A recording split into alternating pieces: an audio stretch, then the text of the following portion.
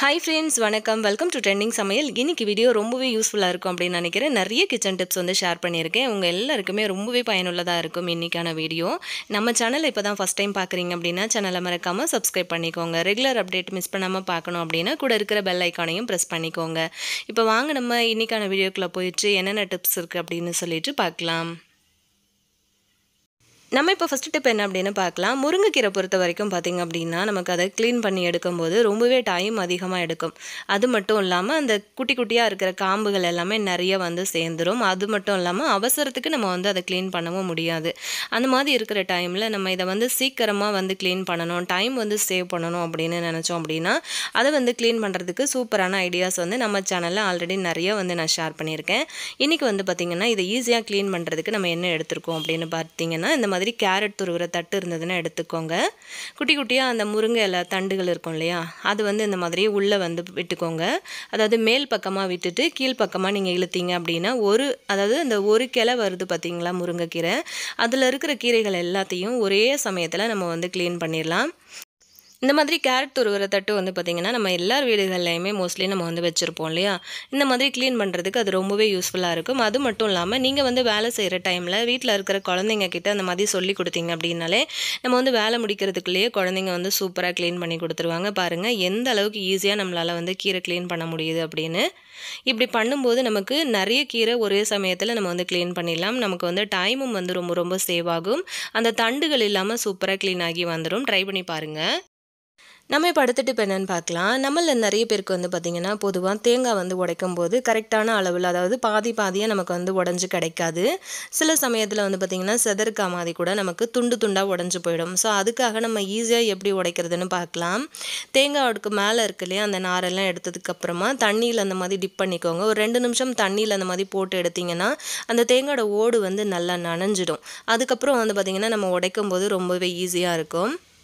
இப்போ இது உடைக்கிறதுக்கு ரெகுலராக நம்ம சமையலுக்கு யூஸ் பண்ணுற இந்த மாதிரி ஒரு ஜல்லி கரண்டி நான் எடுத்திருக்கேன். அதோட முனப்பகுதி வந்து பார்த்திங்கன்னா நல்லா ஸ்ட்ராங்காக இருக்கிற மாதிரி பார்த்துக்கோங்க அப்படி இருந்ததுன்னா நம்ம ஈஸியாக உடைக்கலாம். அதுவே வந்து ரொம்பவே மெல்லீஸாக தின்னாக இருந்துச்சு அப்படின்னா உங்களுக்கு உடைக்கிறதுக்கு வராது. ஏன்னா அது கரண்டி வந்து டேமேஜ் ஆகிடும் இப்போ நான் வச்சுருக்கிற மாதிரி வச்சு நீங்கள் வந்து ட்ரை பண்ணி பாருங்கள் இப்படி உடைக்கும் போது கரெக்டான அளவில் சரிசமமாக நமக்கு வந்து உடப்படும். அது மட்டும் இல்லாமல் செதறுக்கா மாதிரி நமக்கு உடப்படாது. அதோட தேங்காய் தனியாக ஓடு தனியாகவும் நமக்கு வந்து வராது. கரெக்டான அளவில் பாதி பாதியாக நமக்கு உடப்பட்டு வந்துடும் ஸோ பாருங்கள் எந்த அளவுக்கு ரொம்ப ரொம்ப ஈஸியாக நம்ம வந்து கத்தியோ அருவா அந்த மாதிரி எதுவுமே யூஸ் பண்ணாமல் அழகாக நம்ம வந்து இந்த மாதிரி டெய்லி நம்ம சமையலுக்கு யூஸ் பண்ணுற ஒரே ஒரு ஜல்லிக்கரண்டி வச்சு ரொம்ப அழகாக நம்ம வந்து தேங்காய் உடைச்சிட்டோம். இன்னும் பார்த்தீங்கன்னா ஒரு சிலர் வந்து தேங்காய் வாச படிக்கட்டிலலாம் நம்ம வந்து வச்சு உடச்சி பார்த்துருப்போம். அந்த மாதிரி உடைக்கும் போது படிக்கட்டும் வந்து பார்த்திங்கன்னா டேமேஜ் ஆகிடும் ஸோ பாருங்கள் உங்களுக்கு ரொம்பவே ஈஸியாகவும் யூஸ்ஃபுல்லாகவும் இருக்கும்னு நினைக்கிறேன். இந்த ஐடியா உங்களுக்கு யூஸ்ஃபுல்லாக இருந்துச்சுன்னா உங்கள் ஃப்ரெண்ட்ஸ் அண்ட் ஃபேமிலி மெம்பர்ஸ் கூடயும் ஷேர் பண்ணிக்கோங்க. நெக்ஸ்ட்டு என்ன டிப்புன்னு பார்க்கலாம். கசப்பே இல்லாத ரொம்பவே டேஸ்டியான ஒரு பாகக்காய் பொரியல் வந்து எப்படி பண்ணுறதுன்னு பார்க்கலாம். நார்மலாக எப்போது நம்ம சேர்க்குற மாதிரி உப்பு மிளகாத்தூள் மஞ்சத்தூள் இது மூணும் நான் வந்து சேர்த்து கலந்து வச்சுருக்கேன். இப்போ இது கூட வந்து பார்த்திங்கன்னா இந்த மாதிரி எலுமிச்சம்பழம் சாறு வந்து பாதி எடுத்து கலந்துக்கோங்க. அந்த சாறு வந்து விடும்போது உங்களுக்கு வந்து பாவக்காய் பொரியல் ரொம்ப டேஸ்ட்டாக இருக்கும். அதாவது எண்ணெயில் நம்ம வந்து பொரிச்சு எடுக்கிறோம் இல்லையா? அந்த மாதிரி செய்யும்போது ரொம்ப டேஸ்ட்டாக இருக்கும். கசப்பு அப்படிங்கிறது ஒரு துளி கூட உங்களுக்கு வந்து இருக்காது. இந்த மாதிரி கலந்து கொடுத்துருங்க. கலந்து கொடுத்துட்டு டைம் இருந்ததுன்னா ஒரு ரெண்டு மூணு நிமிஷம் அப்படியே வந்து வச்சுருங்க. அப்படி இல்லைன்னா நீங்கள் டைரெக்டாக அப்படியே கூட பொரிச்சிக்கலாம். இந்த மாதிரி நீங்கள் ஒரு தடவை ட்ரை பண்ணி பாருங்கள் கசப்பே இருக்காது. பாகக்காய் வந்து பார்த்திங்கன்னா உடம்புக்கு ரொம்பவே நல்லது. வாரத்தில் ஒரு தடவை இல்லை ரெண்டு தடவையாவது நம்ம சாப்பாட்டில் சேர்த்துக்கும் போது வயிற்றில் அந்த பூச்சி இந்த மாதிரியான பிரச்சனைகள் பூச்சி தொல்லைலாம் வந்து இருக்காது. குழந்தைங்களுக்குலாம் வந்து பார்த்திங்க அப்படின்னா பாவக்காய் வந்து பிடிக்காது. நீங்கள் அந்த மாதிரி செஞ்சு கொடுத்தீங்கன்னா கசப்பு இல்லாத பாகக்காய் பொரியல் வந்து ரொம்பவே டேஸ்டியாக இருக்கும். ஸோ அவங்களும் வந்து விரும்பி சாப்பிடுவாங்க. இது நான் எடுத்துருக்கிறது வந்து பார்த்திங்கன்னா நாட்டு பாவக்காய்.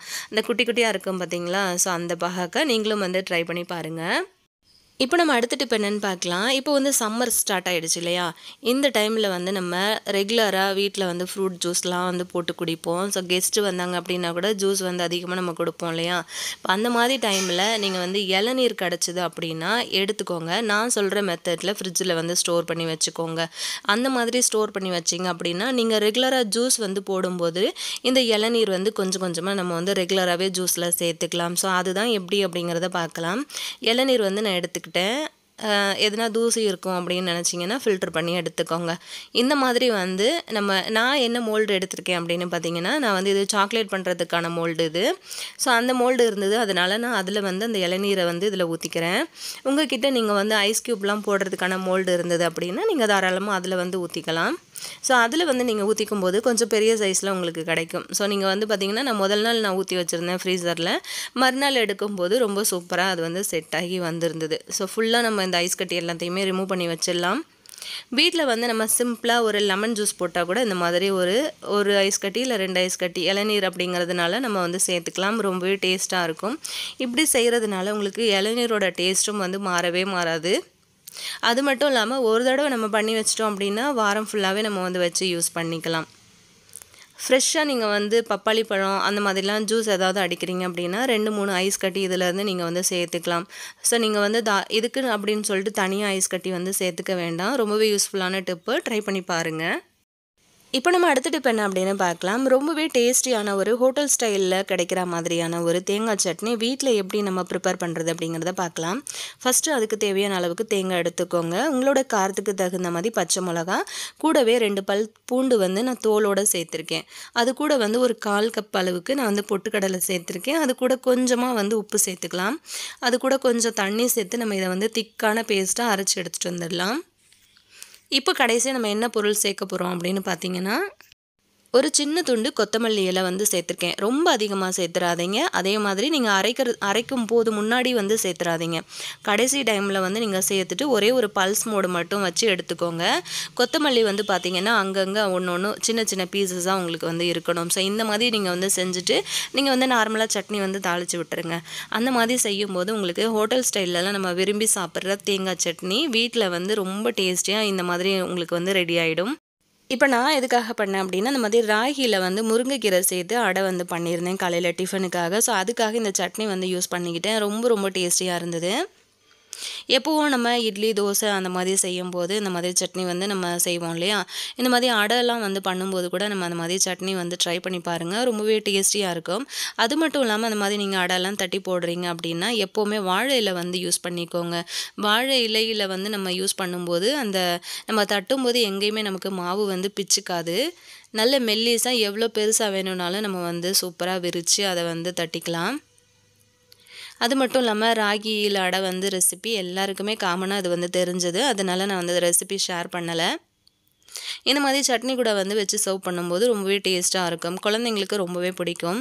இந்த டிப்ஸும் உங்களுக்கு பிடிச்சிருக்கும்னு நினைக்கிறேன். இந்த மாதிரி ஒரு மெத்தடில் நீங்களும் சட்னி வந்து பண்ணி பாருங்கள் இப்போ நம்ம நெக்ஸ்ட் டிப் பார்க்கலாம். இப்போ நம்ம அடுத்துட்டு இப்போ என்ன அப்படின்னு பார்க்கலாம். என்னோட ரோஜா செடியில் வந்து பார்த்திங்கன்னா ரெண்டு மூணு செடியில் ரொம்ப சூப்பராக பூக்கள் வந்து கொத்து கொத்தாக பூத்து இருந்தது ஸோ அதுதான் நான் வந்து கட் பண்ணும்போது இன்றைக்கி வந்து உங்ககிட்ட ஷேர் பண்ணிக்கலாம் அப்படின்னு சொல்லிட்டு இன்றைக்கி இந்த வீடியோவில் ஒரு சின்ன கிளிப்பிங்ஸ் வந்து ஆட் பண்ணியிருக்கேன். ஸ்கிப் பண்ணாமல் பாருங்கள் இந்த மாதிரி செடிகள் வந்து நல்ல கொத்து கொத்தாக உங்களுக்கு பூக்கணும் அப்படின்னா என்ன மாதிரியான உரம் கொடுக்கலாம் அப்படிங்கிறத ஆல்ரெடி நம்ம ஒரு ரெண்டு மூணு வீடியோவில் வந்து ஷேர் பண்ணியிருக்கோம். ஸோ நிறைய பேர் வந்து கேட்டிருந்தீங்க உங்களோட ரோஜா செடி வந்து பூக்கவே மாட்டேங்குது அரும்பே வந்து வைக்க மாட்டேங்குது அப்படின்னு சொல்லிட்டு நான் ஆல்ரெடி சொல்லியிருந்தேன். ஸோ உங்களுக்கு வேணும்னா சொல்லுங்கள் நம்ம இன்னொரு வீடியோவில் டீட்டெயிலாக அந்த உரம் வந்து நான் ப்ரிப்பேர் பண்ணி இன்னொரு வீடியோ வந்து ஷேர் பண்ணுறேன் இப்போ இந்த பூக்கள் எல்லாத்தையும் நம்ம வந்து கட் பண்ணி எடுத்துக்கலாம். ஆல்ரெடி ஒரு ரெண்டு நாளுக்கு முன்னாடி பூத்த பூவும் இருந்தது செடியில். ஸோ அது வந்து அந்த பெட்டல்ஸ் எல்லாமே உதிர்ந்து வந்து கொட்ட ஆரம்பிச்சிருச்சு. ஸோ ஃபுல்லாக எல்லாத்தையுமே நான் வந்து பறிச்சிட்டேன்.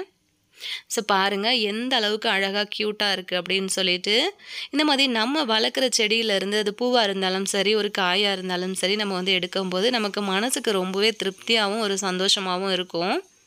இப்போ இந்த பூக்களை வந்து சூப்பராக நான் வந்து ஹாலில் அரேஞ்ச் பண்ணி வைக்க போகிறேன் இந்த மாதிரி ஒரு கிண்ணத்தில் வந்து தண்ணி எடுத்துக்கிட்டு அதுக்குள்ளே அந்த பூக்கள் எல்லாத்தையும் நம்ம வந்து அரேஞ்ச் பண்ணிடலாம்.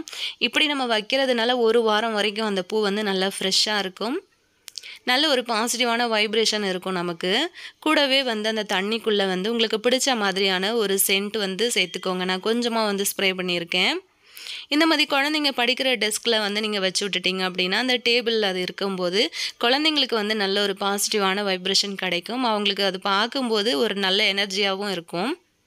பார்க்குறதுக்கும் ரொம்பவே அழகாக இருக்கும். அந்த சென்ட்டு வந்து நல்ல வாசமாக அந்த ரோஜா பூவோட வாசத்தில் கலந்து பார்க்கவும் சரி அதை ஸ்மெல் பண்ணவும் ரொம்ப அருமையாக இருக்கும். அது மட்டும் இல்லாமல் இந்த மாதிரி ஹாலில் கூட நம்ம வந்து அரேஞ்ச் பண்ணி வைக்கலாம். இந்த மாதிரி ஹாலில் அரேஞ்ச் பண்ணி வைக்கும் போதும் நல்ல ஒரு ஃப்ளேவர் கொடுக்கும். நல்ல வாசமாக இருக்கும் உங்களுக்கு ஒரு வாரம் ஆனாலுமே. உங்களுக்கு இன்றைக்கான வீடியோ பிடிச்சிருந்தது அப்படின்னா மறக்காமல் இந்த வீடியோவை உங்கள் ஃப்ரெண்ட்ஸ் அண்ட் ஃபேமிலி மெம்பர்ஸோடையும் ஷேர் பண்ணிக்கோங்க. இந்த வீடியோ பற்றின கருத்துக்கள் எதுனா இருந்ததுன்னா கீழே இருக்கிற கமெண்ட் செக்ஷன்லையும் சொல்லுங்கள் நான் முதல் நாள் வந்து ரோஜாப்பூ எல்லாம் பறிச்சதுக்கப்புறம் இது வந்து மறுநாள் வந்து பூத்திருந்தது ஸோ பார்த்தீங்கன்னா செம்பருத்தி வந்து ரெண்டு வகையான செம்பருத்தி நான் வந்து வச்சுருந்தேன். அதுவும் வந்து பார்த்திங்க அப்படின்னா பூத்திருந்துச்சு திரும்பவும் அதே ரோஸ் செடியில் வந்து பார்த்திங்கன்னா பக்கத்தில் இருந்த மொட்டு எல்லாமே சூப்பராக பூத்து இன்றைக்கி மூணு பூவாக பூத்துருக்காங்க. பார்க்குறதுக்கு ரொம்ப அழகாக இருந்தது. உங்களுக்கு வேணும்னா கண்டிப்பாக கமெண்ட்டில் சொல்லுங்கள் ஸோ அது என்ன மாதிரியான உரம் வந்து நான் தரேன் அப்படிங்கிறத இன்னொரு வீடியோவில் கண்டிப்பாக நான் உங்ககிட்ட ஷேர் பண்ணிக்கிறேன். நெக்ஸ்ட் இதே மாதிரி சூப்பரான ஒரு யூஸ்ஃபுல்லான வீடியோவில் நான் உங்களை திரும்ப மீட் பண்ணுறேன் ஃப்ரெண்ட்ஸ் தேங்க்யூ